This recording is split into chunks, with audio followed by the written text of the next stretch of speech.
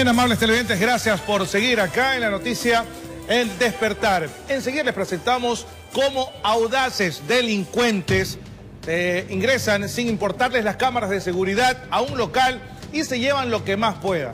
La policía está tras la pista de los individuos. El video se hizo viral en redes sociales. Veamos. Sucedió en un centro comercial. Estos dos sujetos con mochila en mano. Uno ingresa a la isla, mientras que el otro está de campanero, disque hablando por celular. Abre las puertas de una de las perchas y procede a retirar lo que más puede.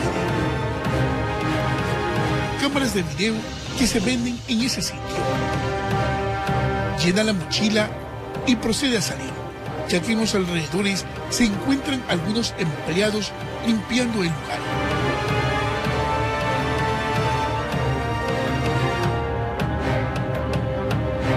Decide ingresar nuevamente para seguir robando, para llevarse lo que más puede.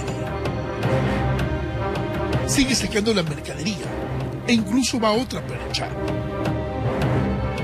E incluso los individuos no se percatan de que las cámaras de seguridad de esa isla los están grabando. La mochila la llenan y ahora sí, procede a salir. Se retiran como si nada. Informó Carlos Julio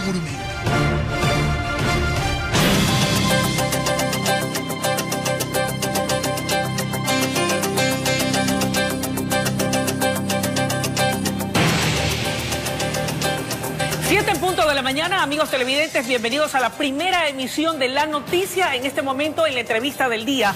Y quiero contarles que asambleístas de la Comisión de Fiscalización cumplen agenda el día de hoy en Guayaquil, esto en el marco del proceso eh, de recabación de información que fundamente el juicio político a la ex ministra de Salud, Verónica Espinosa. Para abordar este y otros temas inherentes a sus funciones, hemos invitado esta mañana al abogado Eliseo Azuero, es vicepresidente de la Comisión de Fiscalización y Control Político de la Asamblea Nacional. Qué gusto que nos acompañe, asambleísta. Eh, buenos días y bienvenido.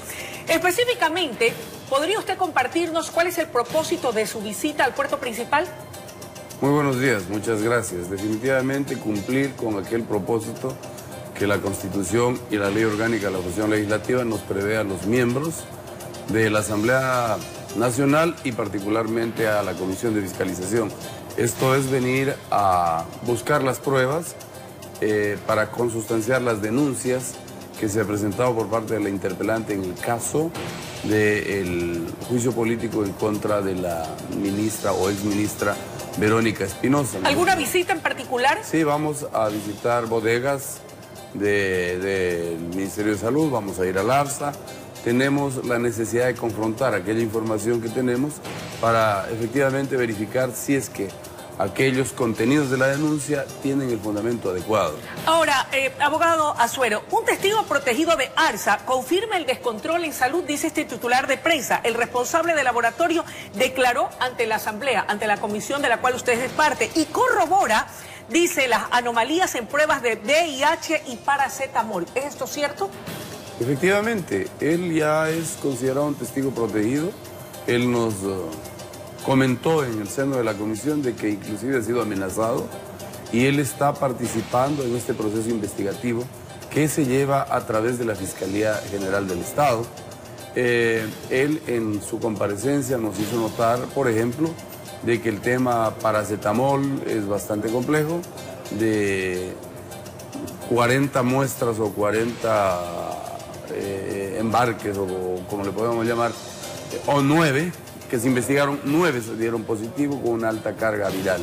Lo que quiere decir que se estaba jugando de alguna manera con la vida de los ecuatorianos y al parecer en la provincia a la que pertenezco, Sucumbíos, eh, estamos uh, requiriendo esa información. Un, conductor llegó a requerir servicios de salud en el Hospital Marco Vinicio Isa, le inyectaron algo, no se sabe si es paracetamol, y dos horas después fallece.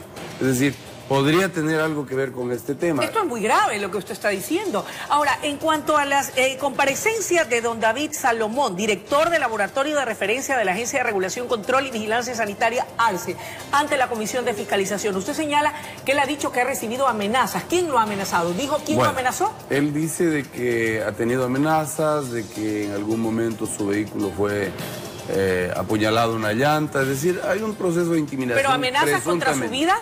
Efectivamente, él sostuvo aquello. ¿Y, señaló a algún responsable de quién lo amenaza? ¿Dio nombres y apellidos? No, no, no. Por el contrario, él lo que tiene que hacer en este marco es poner la denuncia y la fiscalía con los entes correspondientes tienen que verificar y hacer la investigación. Ahora, ¿hubo o no, de acuerdo a la versión que da el señor Salomón, un cambio en el cuarto informe de la ARSA que habría incidido en los resultados de la prueba de VIH? Definitivamente. También. Esta es una suerte de injerencia del poder eh, superior sobre personas que tienen que cumplir un trabajo técnico específico que al parecer pues no arrojaba en primera instancia las conclusiones y el cuidado que debe tener eh, el, Estado ecuatoriano a través de la provisión de medicamentos para los ciudadanos. Con todo este, eh, estos antecedentes, asambleísta Azuero, ¿cómo se cumple el proceso? ¿Qué más falta? ¿Cuándo se mm. realizaría finalmente el juicio político a la ex ministra de Salud, Verónica Espinosa?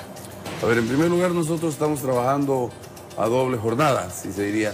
Tenemos también el caso Arroz Verde, el caso Lucas Majano, tenemos el tema este de la investigación sobre el juicio político de la ex ministra Verónica Espinosa. ¿Este concretamente cuánto se daría? Nosotros tenemos que ya receptar las pruebas de cargo, estamos en proceso investigativo. ¿Y las de descargo también? Y las de descargo, ella tiene el derecho al debido proceso, tiene el derecho de comparecer, eh, presentar las pruebas que obviamente tiene que hacerlas para descargar aquellas eh, insinuaciones, aquellas inculpaciones que se le hacen.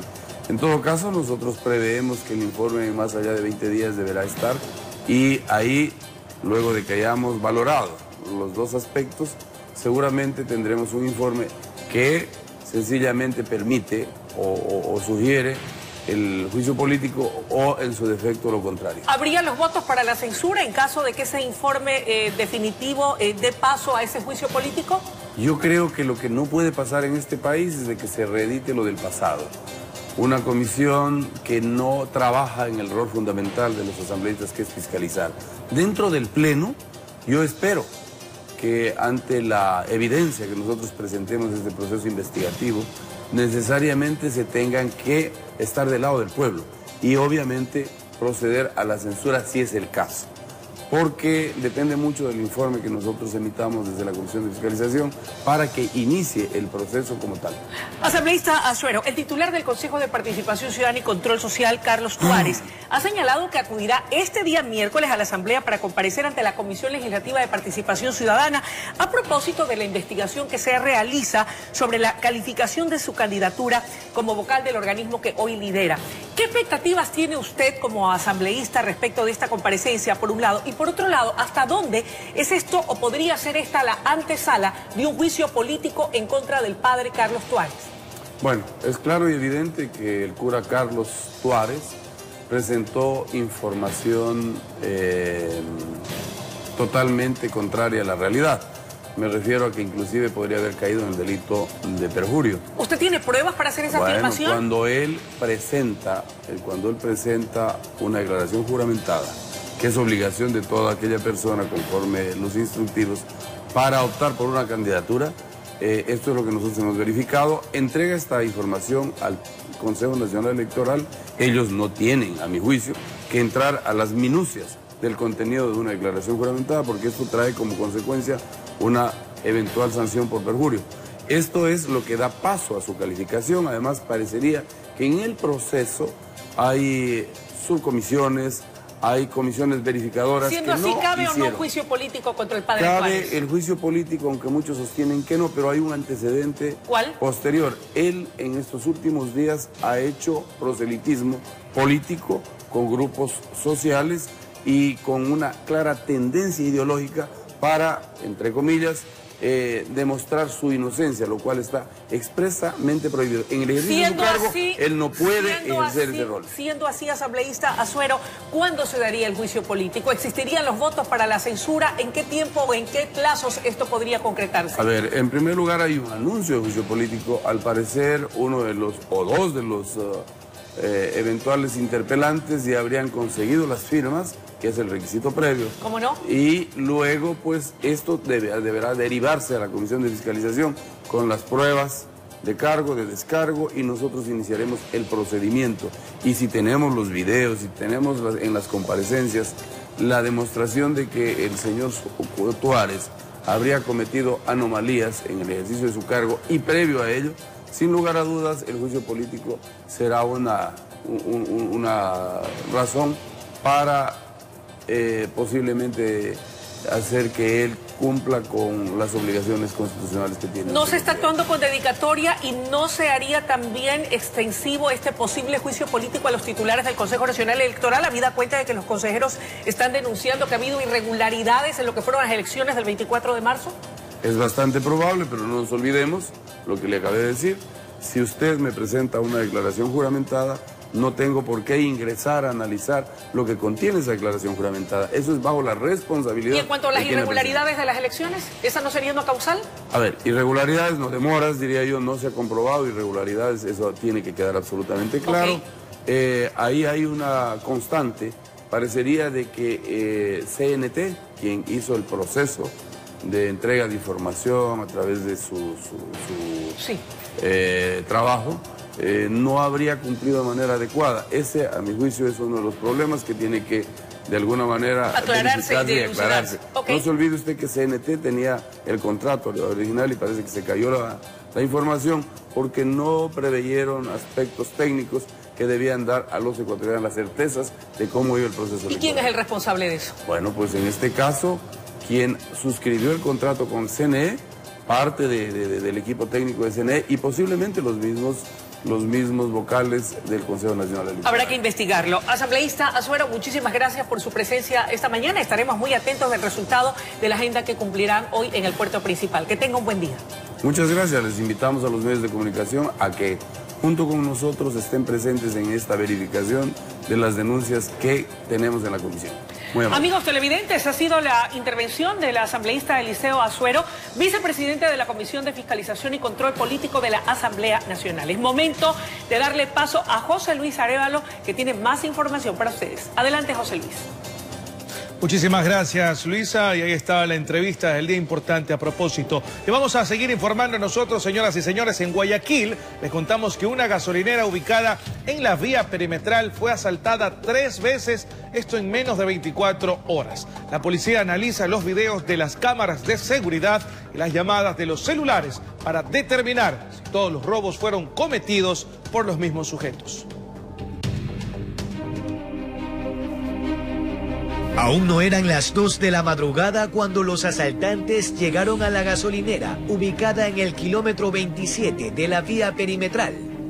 Embistieron al despachador hasta quedarse con la venta de ese momento y todo lo que olía a dinero. Simulan ser clientes, pues a veces vienen y pagan. Al primer compañero le pagaron con un billete de 20 y le pidieron el vuelto y creo que en ese momento para ver si que tenía plata, ahí procedieron a asaltarlo. Durante el enfrentamiento, el antisocial logró escapar, no así el chofer, que luego fue a dar a la unidad de flagrancia con sus huesos. Agarraron a los dos, pero uno se les soltó y solo procedieron a coger uno. ¿Y el otro cuánto se llevó en el último asalto? Eh, ese se llevó creo que como 60 dólares, algo así. Pero este fue el último de los tres asaltos cometidos en esta estación en 21 horas. El primero fue un compañero a las 5 y media de la madrugada, llevándosele como 65 dólares. Hubo otro robo como golpe de 10 de la noche por ahí. Entonces al compañero también lo asaltaron, a él se le llevaron casi 200 dólares. Pero nada es suficiente para los antisociales. La otra gasolinera del mismo dueño, ubicada al frente, ha experimentado similares pánicos. Vinieron dos en una moto, así, lo cogieron al compañero y lo asaltaron. Se llevaron como 90 dólares. Estamos implementando ahí que el patrullero se estacione ahí en la, en la madrugada para que de ahí salga a los a los diferentes auxilios. A pesar de que los despachadores han identificado a los mismos sujetos en los tres asaltos que se cometieron en la primera estación, la policía va a solicitar un informe tanto de los videos de las cámaras de seguridad como de los teléfonos de todos los involucrados. Personal eh, investigativo de la PJ está realizando las investigaciones para verificar las cámaras del lugar y explotar el teléfono del, del, sujeto. En estos meses han robado como cuatro veces aquí, en la allá han robado como tres. Por ello exhortan a las autoridades a doblar los esfuerzos para que la delincuencia no los siga doblando. En cada oscurecer, informó Jorge Escobar.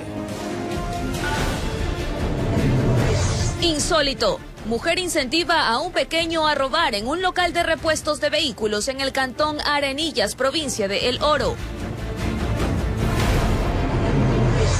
Mujer fue atropellada por un vehículo al norte de Guayaquil. La afectada trabaja en el consorcio Puerto Limpio y solicita que se investigue el caso.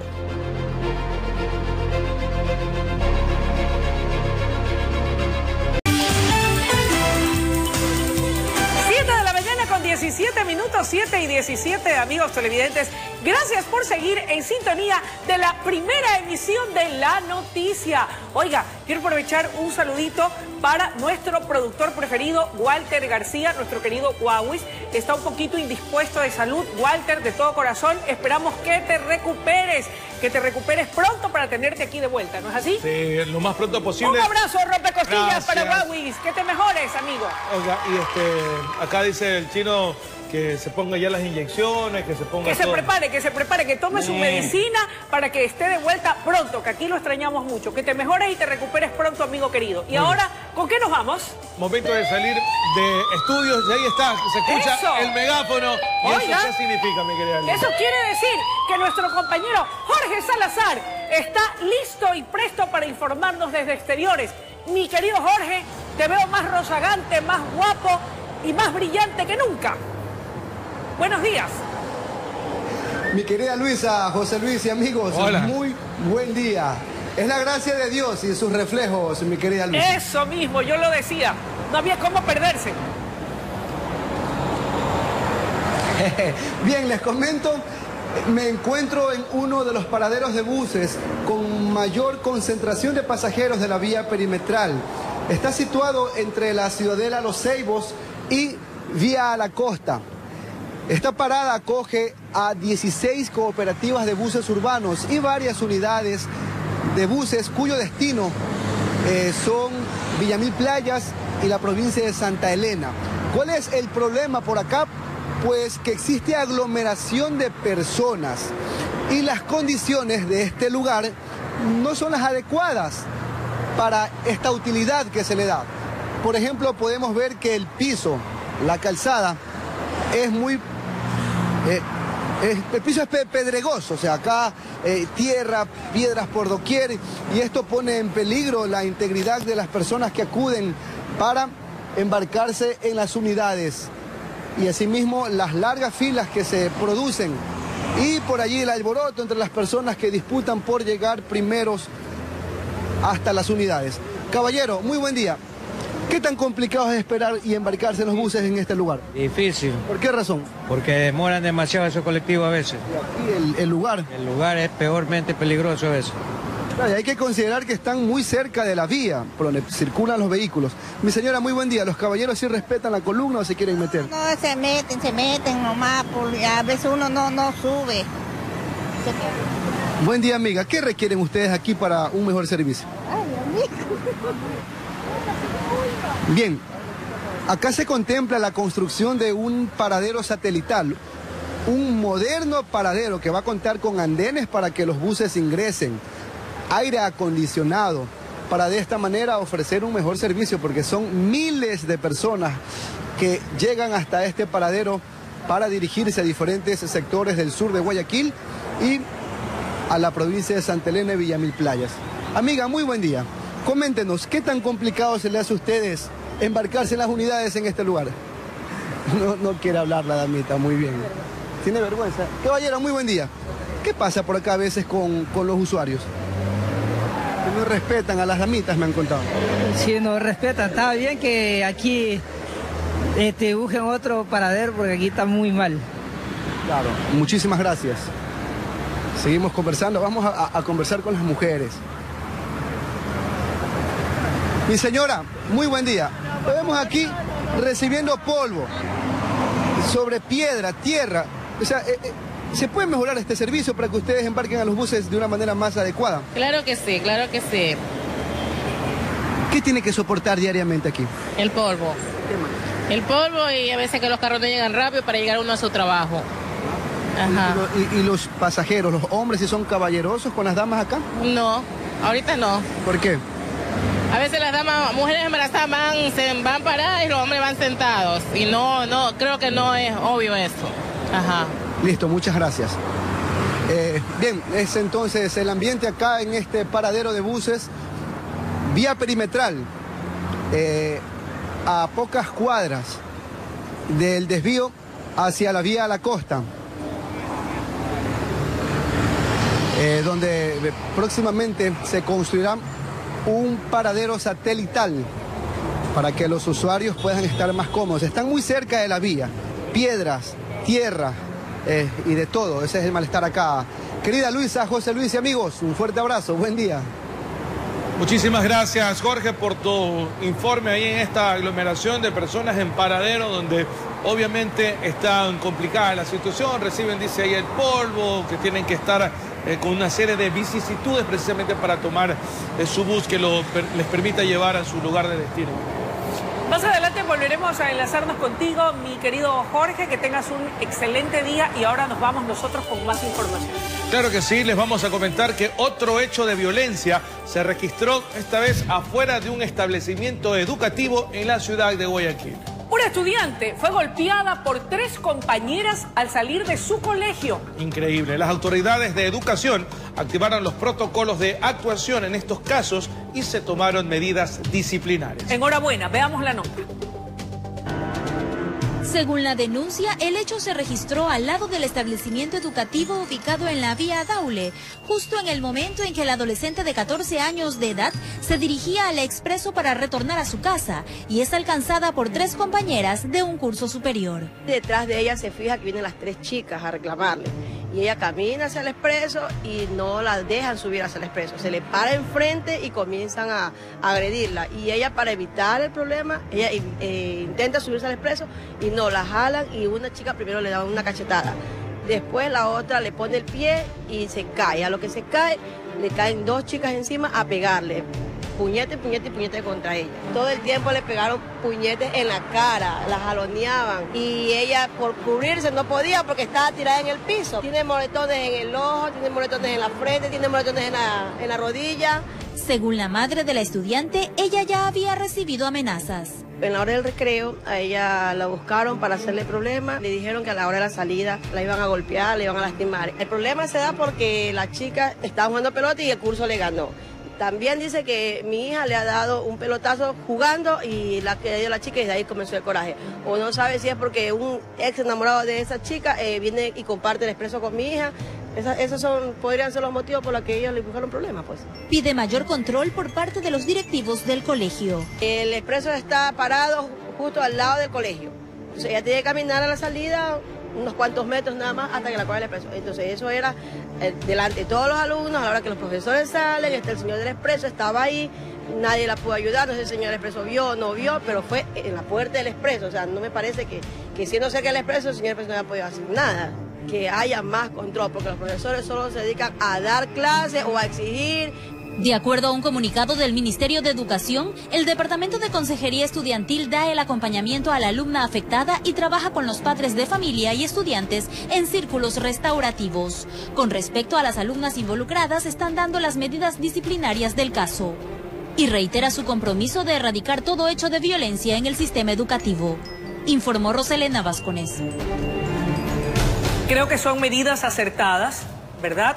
Eh, como padres de familia, eh, obviamente nos sumamos a la preocupación de los papás, de las mamás, porque definitivamente no es dable que se den situaciones de esta naturaleza en los exteriores de los planteles educativos. Así que enhorabuena que se activen estos protocolos de seguridad que son esenciales para garantizar la integridad de nuestros chicos, mi querido José Luis. Claro que sí, muy bien, y que se tomen las medidas disciplinarias, que se castigue y se sancione los que debe hacer para poder estar bien. Esta niña, me imagino que debe estar esta adolescente, debe estar también terriblemente afectada Claro. para poder llegar a su colegio, a su, a su, a su lugar de Vi las estudio. imágenes yo, llegaron a mi, a mi dispositivo celular. La niña estaba toda golpeada. Qué bárbaro. No es dable, por favor. Chicos, chicas, la violencia no nos conduce a nada bueno. El diálogo, la comunicación, el compañerismo, eso es lo que debe primar entre nosotros. Muy bien, vamos a seguir en la información. Luisa, les contamos que cámara captó a una mujer incentivar a un pequeño a robar, esto en un local de repuestos de vehículos en el Cantón Arenillas, provincia de Loro. Me cuesta creerlo, pero va- vamos a ver la nota periodística.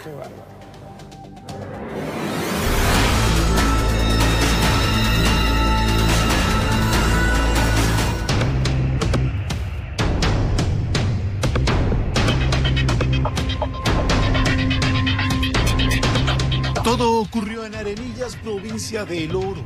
Vemos cómo una mujer ingresa hasta un local comercial de venta de repuestos de vehículo. Se percata de que no hay nadie y en cuestión de segundos su pequeño hijo, con la ayuda de su madre, ingresa hasta el local.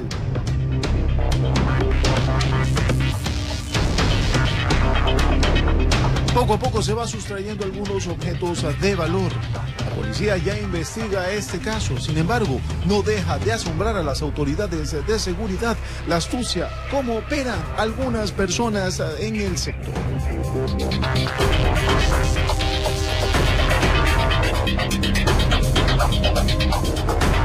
Es por ello que este video ahora está siendo analizado por las autoridades. Esperan dar con el paradero de la persona en cuestión. Dicen que en las próximas horas darían con el paradero.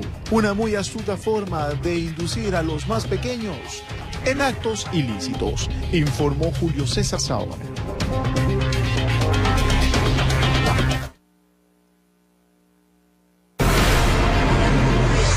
Mujer fue atropellada por un vehículo al norte de Guayaquil. La afectada trabaja en el consorcio Puerto Limpio y solicita que se investigue el caso.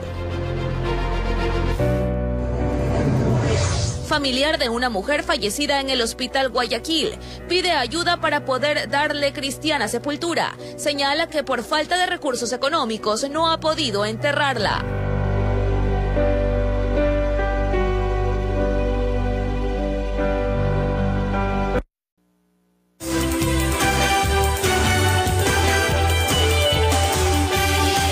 Bien, seguimos y muchísimas gracias, amables televidentes, por dispensarnos con su amable atención acá en la noticia primera emisión. Estamos en primera emisión ya, mi querida. Claro, por Hace supuesto. como media hora creo que estamos en primera emisión. Oiga, y, y llega el momento más esperado. El baile No, no, el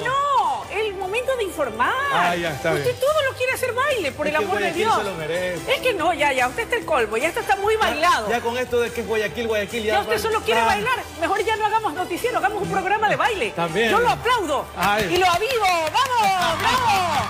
A ver, el baile, el Próxim- bailejo, el bailejo. ¡Eso! Baila hasta en seco, a capela baila el hombre. A ver. ¡Hasta! A ver. Eso, a ver. Ah, mira cómo se ve ahí, ¿ah? ¡Ostras! Oiga, qué bien. Pero velo, picarón. Hay que echarle un poco de aceite en las bisagras, dice. ¡Hasta! ¡Bravo! Hasta el robot sale Oiga, chicos, ¿les gustó cómo baila el tío José Luis? No lo tome a mal, pero yo creo que los niños hasta se durmieron. Como que no le gustaron esos pasos. Mi niño María Paula preciosa. ¿Le ha gustado cómo baila el tío José Luis? ¿Ves? Ya, mi amor, siga nomás, siga nomás, pobrecita. Qué Está bárbaro. bien. Eh, Ya no hay chocolate, No, quiero desalentarlo, pero, pero como que esta vez el baile no le ayudó. Vamos entonces mejor con lo que sabemos hacer y muy bien, informar. Claro que sí, vamos a seguir en la información. Le comento que en menos de tres horas, mi querida Luisa, ¿Ya? amables televidentes, dos personas lamentablemente fueron asesinadas, esto al norte de la ciudad de Guayaquil. Pese a que los hechos no están relacionados, se cree que la causa principal sería nada más ni nada menos, mi querido José Luis y amables televidentes, que un ajuste de cuentas. Veamos.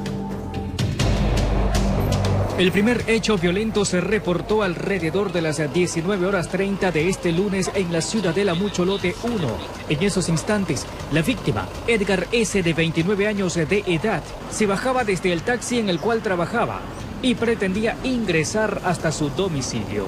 Ha estado discutiendo con, el victimario, entonces esta persona a percatarse le dispara por varias ocasiones. Hay aproximadamente unos 5 a 6 indicios balísticos que se levantó en el lugar. Yo tengo de aquí desde hace 6, ya 7 años trabajando aquí, yo siempre lo veía ahí. No lo puedo creer si se veía tranquilo ese chico. Yo siempre lo veía que limpiaba su taxi, limpiaba aquí afuera. El segundo crimen se reportó alrededor de las 23 horas con 30 minutos, esta vez en el bloque 10 de Bastión Popular. Dos amigos conversaban en los exteriores de este domicilio cuando llegaron unos desconocidos y dispararon sin piedad. Dos personas se encontraban a la afuera del domicilio donde se percatan de, unos ciudadanos que llegan al lugar y le disparan, le disparan eh, ocasionando la muerte a uno de ellos y la otra persona se encuentra herida. Ahí se levantaron indicios eh, de que hay dos indicios balísticos. Se bajó uno más, uno se bajó con una nueve cuando lo cogió ahí mi panita, y cogió los gatillos ahí, pa, pa, pa, le metió los balazos aquí en el pecho y uno le metió aquí, le dio como ocho. Dicen que anduvo un carro desde temprano dando vueltas por aquí buscándolo. La DINASEAT confirma que ambos casos no guardan relación entre sí, pero asegura que los dos hechos son investigados bajo la hipótesis de un ajuste de cuentas. El primer hecho, la, la presenté dos antecedentes, uno por, por robo y el otro por tenencia de sujetas a fiscalización, sustancias sujetas a fiscalización. Y el, y el otro occiso también tiene antecedentes por tenencia de sustancias sujetas a fiscalización y por riña. Sinceramente no creo que sea por eso, pero eh, mi hermano sí era una persona que no se dejaba de nadie. Informó José Morales. Pero no es el único hecho lamentable. Quiero contarles que una mujer fue atropellada por un vehículo en el sector de la Florida, al norte de Guayaquil. La afectada trabaja en el consorcio Puerto Limpio y solicita que se investigue el caso. El hecho fue captado por cámaras de seguridad del sector.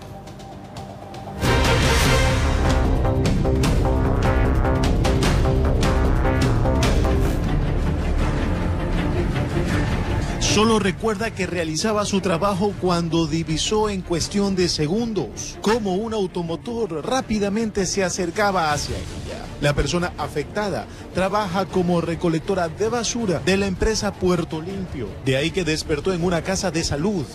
Cuenta su experiencia. Este, yo estaba trabajando y lo que siento es que el carro se me viene encima. Yo caigo al lado del carro y y no podía mover mis piernas. Entonces, por ahí, como a mí me conocen en ese sector, rapidito avisaron a unos familiares de, del marido de mi hija y fueron. De ahí me trasladaron la ambulancia del cuerpo de bomberos, me trasladó hasta, hasta una clínica. Se hacen las investigaciones respectivas por parte de la autoridad de tránsito. Nosotros tenemos un video donde señala que yo estoy en, en mis en mi sitio justo de, trabajo. No he estado a un metro como ellos dicen. Representantes del consorcio Puerto Limpio aseguraban que este tipo de situaciones se han registrado y que en muchos casos los conductores no respetan la labor de aquellas personas que se encargan de recolectar y recoger los desperdicios. Esa es la, una de las partes que yo te mencionaba. Ellos reciben charlas y reciben capacitaciones más allá de los equipos de protección. Y de alguna manera, eh, los dentro de sus equipos de protección, la carretilla en el momento de barrer es una de sus herramientas de protección. Porque la, la carretilla va antes que la persona que está barriendo total totalmente entonces eh, esto sí ya es una imprudencia de un conductor que de alguna manera este se fue sobre nuestro, nuestro, nuestra colaboradora. Informó Julio César Sabor. Y presten mucha atención, evacúan a tres agencias en la CENEL en Guayaquil tras recibir llamadas que alertaban de la existencia de artefactos explosivos en esas dependencias. Después de las inspecciones del Grupo de Intervención y Rescate, se descartó la alarma. Las autoridades investigan quiénes fueron los autores de las llamadas recibieron llamadas a diferentes unidades de negocio en Guayaquil y oficinas de atención al público y activaron inmediatamente los protocolos de emergencia, evacuando a los usuarios y a todo el personal que se encontraba laborando. Y así ocurrió en las calles Eloy Alfaro y El Oro en el sur de Guayaquil. Con las diferentes instituciones como es Cuerpo de Bomberos, como es eh, la Agencia de Tránsito, y se desplazó el grupo de intervención y rescate GIR con su unidad de antiexplosivos. Yo venía ahorita justamente a pagar la, la planilla de la luz y no, no puedo porque está acordonado que no sabemos qué es lo que está sucediendo. Aquí cercaron toda la zona y personal del Grupo de Intervención y Rescate inspeccionó cada rincón de estas instalaciones y después determinaron que era una falsa amenaza. El servicio de investigación está tomando eh, contacto con las personas que habría recibido para dirigir al posible autor o autores de las llamadas y quienes necesitaban realizar trámites y otras actividades en instituciones públicas y bancarias de ese sector de la urbe porteña tuvieron que esperar aproximadamente dos horas. Veniendo a pagar mi planilla me entero casi más de dos horas aquí esperando a que pase todo esto, pero todo ha sido mentira, falsa alarma. La verdad crea muchos inconvenientes. Asimismo ocurrió en la planta Guayaquil, en las calles Eloy Alfaro y José Gómez Valverde, donde los empleados de la CENEL esperaron del otro lado de la calle principal por disposición de la Policía Nacional, mientras que aquí los especialistas en explosivos revisaron hasta debajo de los vehículos. Se pudo verificar tanto técnica como físicamente las instalaciones, descartando la presencia de algún artefacto explosivo y la ciudadela La Garzota en la oficina matriz de la empresa eléctrica estatal. De la misma manera descartaron el peligro o la existencia de un presunto artefacto explosivo de parte de la CENEL en redes sociales. Solo indicaron que miembros de la Policía Nacional se encontraban cumpliendo con los protocolos de seguridad, tendientes a verificar que no exista riesgo a la integridad de las personas y clientes ante llamadas amenazas de bombas en las agencias de la unidad de negocio de Guayaquil, aunque algunos creen que eso lo hicieron ciudadanos inconformes con el tema de la facturación en sus planillas en los últimos meses, informó Charlie Pisa. Guayaquileño, guerrero, muy valiente, jamás siente el temor. Guayaquileño de la tierra más linda, pedacito de suelo de este inmenso Ecuador. Guayaquileño no hay nadie quien te iguale, como hombre de coraje, lo digo en mi canción. Guayaquileño no hay nadie quien te iguale, como hombre de coraje, lo digo en mi canción. Amigos, quiero contarles ahora que el familiar de una mujer fallecida en el hospital Guayaquil pide ayuda para poder darle cristiana sepultura. Señala que por falta de recursos económicos no ha podido todavía enterrarla.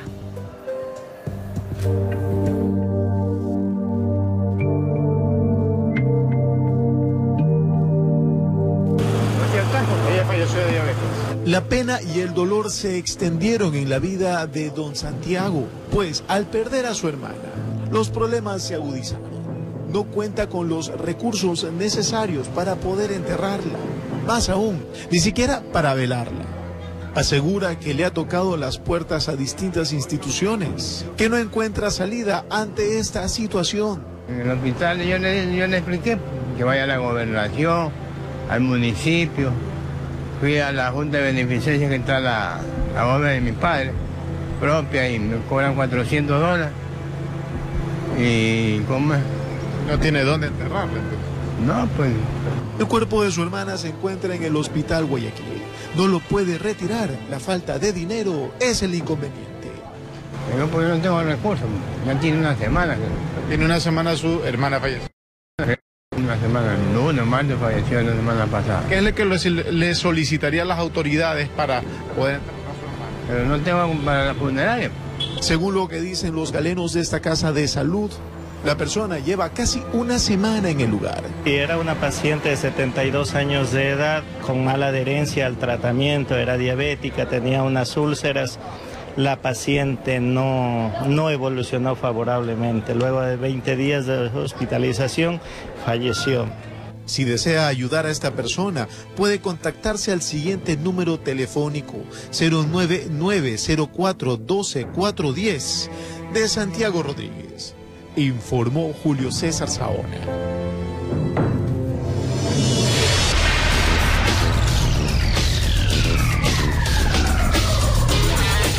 52 de la mañana y de inmediato, mi querida Luisa, amables televidentes, vamos a su segmento preferido, Infragante y todas las denuncias acá en detalle en modo cibernético, videos y fotos a propósito. Claro que sí, ahí está el número celular que aparece en pantalla y por supuesto compartimos con ustedes la primera denuncia a través de esta fotografía enviada por un televidente. Carros sin placas y con vidrios eh, oscuros. Mira tú esto, ¿ah? Y es un carro nuevo. Claro que sí, sino que se lo ve sucio por el... Sí, eh, lluvia, está sucio, pero, Pero es nuevo. se ve un carro nuevo y qué lástima que eh, tanto él como muchos otros insistan en circular sin placas. Ahí están circulando sin placas, algo que ha sido repetitivo, que se ha hecho consuetudinario prácticamente acá, ¿no? Y este, como te dije, Luis, amables televidentes, algunos yo he hablado porque no tienen placas y mira que le he dicho, oye, ¿por qué andas sin placas? Me dicen que no hay y están dando un permiso especial, tienen que ir Algún papel y firmar. provisional, Ajá, y tienen que ir a firmar, tienen que ir a... Porque supuestamente no está el material. Eso tendrá materia de análisis. No puedo asegurar esta situación. Pero es lo que te han comentado. eso es lo que me han comentado. Que Ya. contrastar la información para ver si esto es. Esto es en la real. vía perimetral, ¿verdad? En la vía perimetral que, eh, por cierto, es bastante traficada. ¿Qué otra imagen tenemos, señor productor, por favor? Gracias a los televidentes que nos eh, envían a manera de denuncia sus videos y fotografías. ¿Qué está ocurriendo por acá? Esto es en la vía Salitre. ¿Qué es esto? ¿Competencia de motocicleta? ¿Qué es lo que hay por aquí? ¿Mm? Ahí está, entonces. ¿Tienen o no tienen placa esas motos? Me pregunto, al menos el casco lo tienen, pero no tienen las respectivas placas. Circulan sin placa y aquí hay otra más en la vía perimetral. Otra más, esto en la vía perimetral, una de las vías indudablemente donde más se transita ahora, ahora, y donde se ve mayor cantidad de infracciones. Acá está la vía Daule. Esta es, en cambio, la vía Daule, mi querida Luisa, donde podemos ver una señora sin las precauciones. ¡Ese se no va a la tiene derecha! su casco de protección y la motocicleta no tiene placa. Y- Doble falta. Y creo que tampoco el conductor de la moto, no, no logro avisar aquí que tenga su casco. Dios no permita, se suscita un accidente y luego nos estamos lamentando y los deudos quieren que les compren los muertos. Y espérese algo más, me parece que lleva ahí alguna situación ahí que no permite que circule normalmente, no, le falta el equilibrio ahí, exponiéndose. Mire, otra más. tres en moto, Sin casco, sin casco, ¿verdad? ¿En qué sector es esto, señor productor? Sin Si se protección. puede apreciar. parece que es en la... vean, La en Francisco la Orellana. Francisco de Orellana. También una arteria muy transitada, de mucho tráfico, ¿ah? Mira, de día y con sol, ¿verdad? Sin sus cascos, tres en moto. Son tres mujeres, aparentemente. Parece que solo la de adelante llevaba el casco. Oiga, y esta es una locomotora este, o un barco a vapor en la tierra. Ahí está, chimenea contigo, mire usted, harto humo. Contaminando el ambiente, ¿verdad? Y los controles, como usted dice, mi querida Luisa. No sé qué pasó, Y en el qué será lo que sucedió allí, cómo es que le pasaron gato por liebre a quien hace el control. Exactamente. ¿Cómo es que ese vehículo que debería estar eh, circulando en óptimas condiciones sale así? ¿Ah? Terrible. 7 con 56 minutos, esto ha sido infragante. Y ahora sí, vámonos con los cumpleañeros. Eso, claro que sí. Vamos entonces con los cumpleaños calientitos, los cumpleaños calientitos. Ahí está. 7 y 56 de la mañana. Vamos con los cumpleaños, los cumpleaños el día de hoy. A ver, Fiona Santana, 17 años en Milagro. Mire qué linda. Hola, Fiona. Qué bella. Milagro, tierra de mujeres bellas. claro que sí. Así Ahí es. está. Sagay. Ahí está, Sagay. Felicitaciones. Madas, Sagay Madas, 9 años. Un abrazo para el cumpleañero. ¿Y aquí a quién tenemos? A José Mina, que está cumpliendo 28 años de vida. Mi querido José, un abrazo fuerte para ti. Felicidades en tu día. Muy bien, felicitaciones. Marilyn Farías, 13 años para Marilyn Farías. Felicitaciones en su día a la señorita Farías. Eso, qué linda. Leslie Paulette, 5 años. Qué bella, Leslie. Mire qué linda. Ahí está Dylan Basante, 5 años.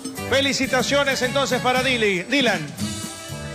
Glenda Mero, 40 años desde Manta, en Manaví. Un abrazo, Glendita. Jeremy Sánchez, 11 años desde Naranjal. Arturo Forton, 13 años. Felicidades, Arturo. Muy bien, perfecto. Arturo. A ver, ¿a quién más? A ver, Guiller me dice, ¿no? Iker, Iker, Iker, Berrus. Iker Berrus, ahí está. Feliz cumpleaños para Iker, enorme para él. Muy bien. Oiga, y un saludito especialísimo para María José Vera en la capital. Así es, una bella puertovejense, María José Vera, que habita en la capital de la República.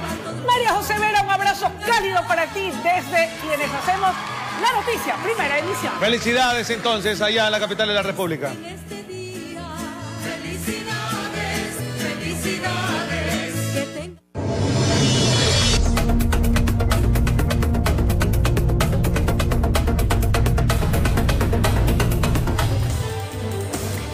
Revisemos rápidamente las cinco noticias más importantes de esta jornada.